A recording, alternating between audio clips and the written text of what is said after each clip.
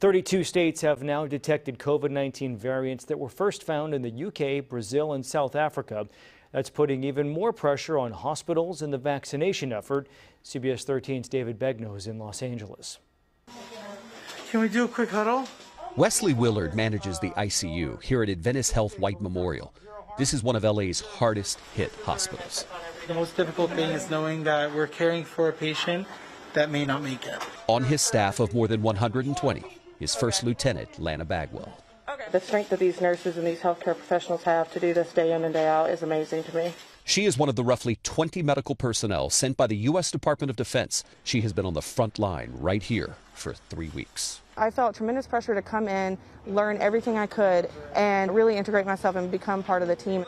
Adventist Health sits right in the middle of Boyle Heights, one of the hardest hit neighborhoods in Los Angeles. Willard says socioeconomic conditions play a role in this.